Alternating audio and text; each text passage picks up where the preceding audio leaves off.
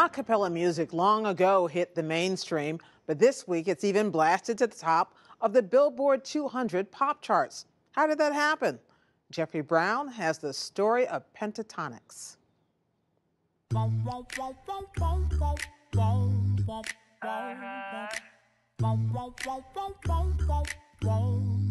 Yeah. I'm Kirstin. I'm Scott. I'm Mitch. I'm Kevin. I'm Avi.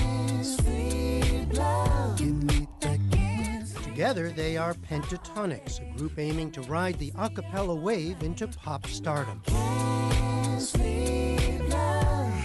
Yeah.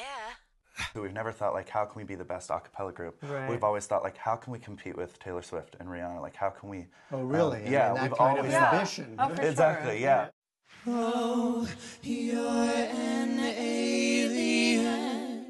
first gained notice in 2011 with an appearance on NBC's competition show, The Sing Off. Then, with music videos of covers of top 40 hits, found their way to a large, loyal audience through YouTube. Next, they turned to a more traditional pop route, making albums and selling more than 2 million.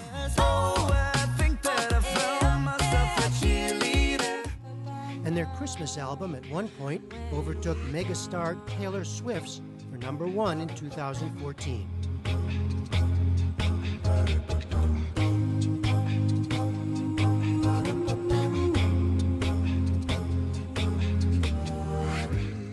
Along the way, they won a Grammy Award for Best Arrangement and appeared in the movie Pitch Perfect 2.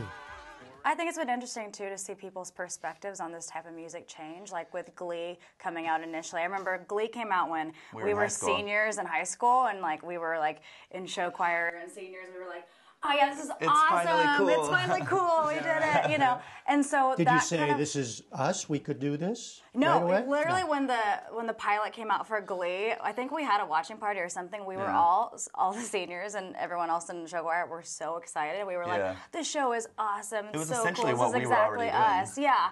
So I think that really opened up um, kind of this like different chapter of music.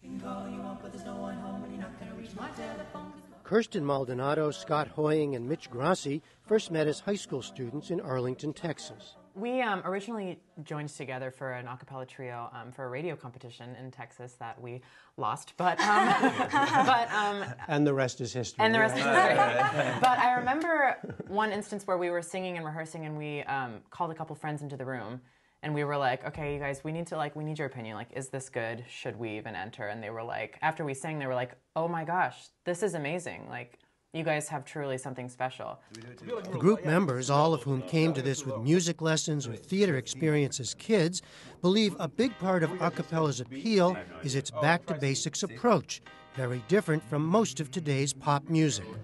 Kevin Olusola and Avi Kaplan, who joined the three original friends later on, explain.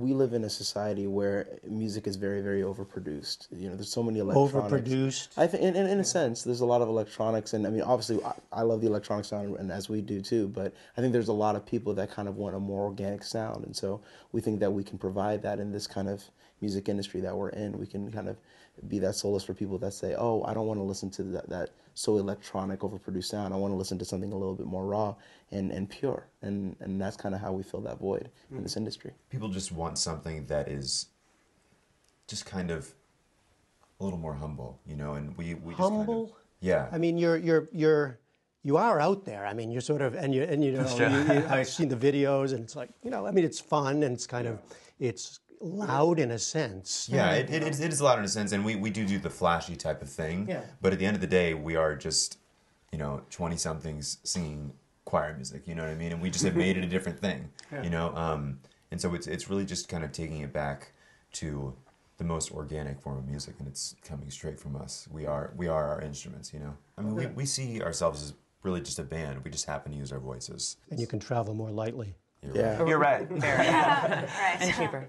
How does it work? Well, we got a demonstration. So we're most inspired by like the groove, the beat, or at least that's what inspires me. And so we'll start with Kevin. And then we'll add the bass line so we have that chord progression. And then we have two background parts.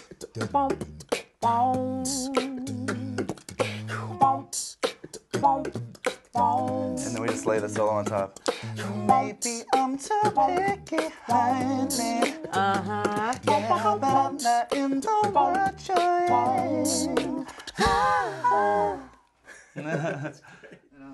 With their newly released album, the group is trying something new, writing and performing their own songs. But mine's cracked. I don't know, we want to just show our artistry. We like all have very different tastes in music. Like we're so eclectic in what we do and we wanted to show that. Before we did covers and but that's someone else's song and that's someone else's words and now we're telling stories about our relationships and about um, what we love to do and who we are as a band and that's really cool i feel like especially in our live shows it's going to be so fun singing these songs and seeing people sing our words I mean, I'm thinking that every day there's like another YouTube sensation, right? Oh, yeah. It's like, Oh, yeah, you totally. know, yeah.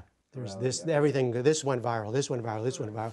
How do you avoid just being a YouTube sensation? How do you oh sustain? gosh. I Yeah. feel like we're working on that That's right the now. question of the moment. we're in that transitional period right Yeah. now Yeah. Are you all in this for the long haul? Yeah. Absolutely. absolutely You know, we want to make our mark in the music industry. They plan to continue making that mark when they release their next Christmas album later this year. In New York City with Pentatonix, I'm Jeffrey Brown for the PBS NewsHour. One, two, three.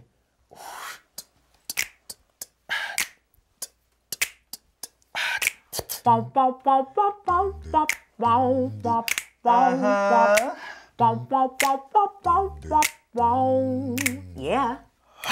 Tell me, am I going crazy? Uh huh. Yeah, tell me, have I lost my mind? Yeah.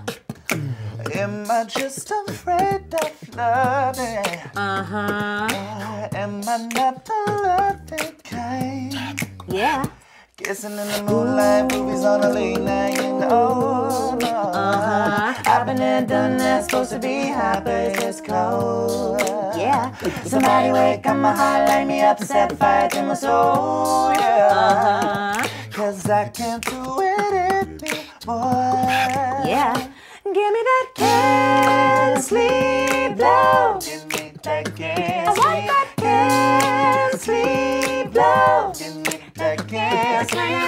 about all day. The kind that keeps me up all night. Give me that can't sleep love. Yeah. Maybe I'm too picky, honey. Uh-huh. Yeah, but I'm not in the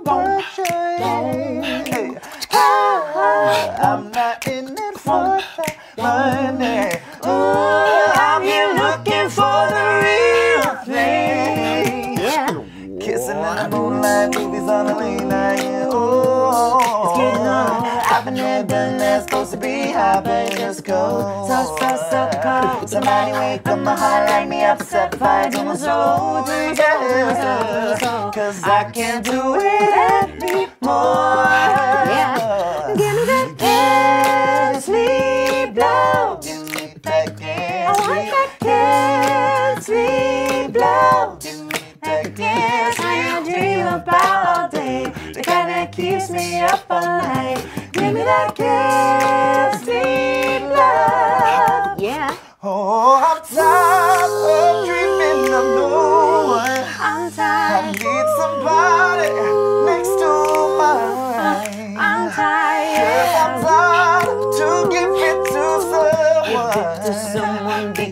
I can't do it anymore. Oh, give me that can't sleep love. Give me that can't sleep Can't sleep love. That can't dream about it. About it. Keeps me up all night. Can't sleep love.